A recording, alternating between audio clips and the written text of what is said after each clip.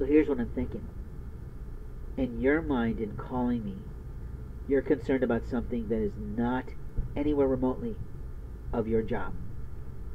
But now you're concerned because you've allowed the misbehavior on our company time and our company dime. So what I'm going to say to you is you've failed your life already because you've allowed the little shits who work under you to play with someone's computer and abuse his rights under federal law. Your child is going to jail who works for you. He will go because that information has already been put forth, and my guess is he was sent there by the company to piss on your fucking life. Because you failed the company long ago when you didn't stop those boys from playing a game on someone's rights.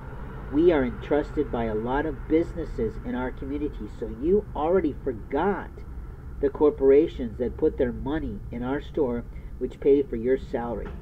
And you already forgot how quickly gossip can get to those companies who will simply walk out that door and go elsewhere to our competition or somewhere else entirely for their products and their services.